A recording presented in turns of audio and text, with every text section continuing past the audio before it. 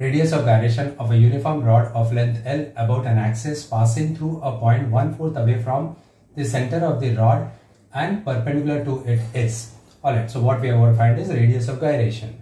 Now what's the situation? Situation is this. This is a rod given and it is rotating. It is rotating from here, right? It's not rotating from center. This is IC. This is axis of center. So moment of inertia IC for the rod we know is ml square by 12. But what we have got to find is initially we have got to find moment of inertia at this point. Assume this to be a rod. This is the center but from one fourth of the center it is rotating like that. Alright that's the situation. Alright now for that we call it as I0 obviously. So I0 we know as per parallel axis formula is equal to IC plus MH square. Alright so here H is L by 4 alright L by 4 alright because this if you divide 1 fourth 1 fourth 1 fourth 1 fourth you can divide it into 4 parts. So this is L by 4th part. Alright so it's rotating from here.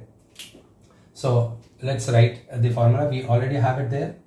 I0 is equal to IC plus MH square right? IC we know for rod it is ML square by 12 plus m into h here is L by 4 so it would be L by 4 the whole square. This is h. So it would be m L square by 12 plus m L square by 16 alright so LCM I hope you guys are all okay with it now. Plus 1 by 16 when you do obviously we take out LCM this way.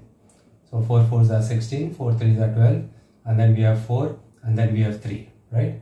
So it is so LCM would be 4 into 4 into 3 so 16 so if I take 12 4 so 4 ones are 4 plus 16 4 4s are 16 so 3 remains so 3 into 1 so it becomes 7 by 16 is 48 7 by 48 all right so this is 7 by 48 ml square alright I hope uh, you know what I did?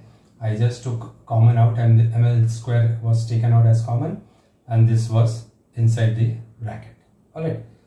1 by 12 plus 1 by 16 and then this happened and what we ended up with was 7 by 48 ml square.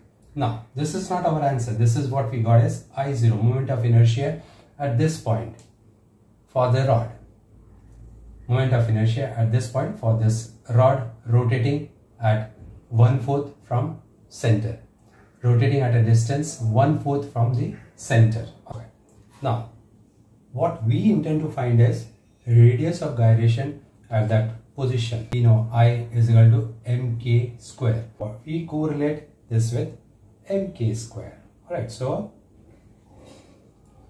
mk square is equal to 7 by 48 7 by 48 ml square right? So m cancel and we want k. So we have got to square root both the sides. So it would be this would get into a root and this would become l. So this is what is our answer. K is equal to root 7 by 48 l. So keep practicing these type of numericals all right? Physics is only practice. Chemistry numericals always practice. Maths every day one hour to two hours practice required every day regularly okay? Keep doing it. Keep putting in effort and get the results okay